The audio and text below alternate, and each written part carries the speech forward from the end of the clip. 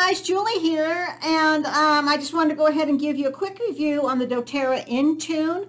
And I don't know if you struggle sometimes with focus, right? I do. Sometimes I'll just sit down at the computer and I'm like, what am I working on? Or I need a little bit of help or something. Well, I'll tell you, this Intune works fantastic. Well, if I can get the lid off of it. So it's just a roller, right? You're going to roll it on um, the backs of your neck. You can roll it at the temples.